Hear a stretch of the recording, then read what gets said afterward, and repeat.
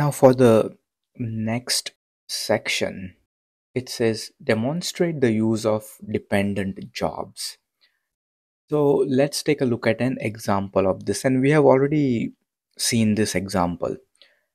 So let's go back to our Node.js Hello World application.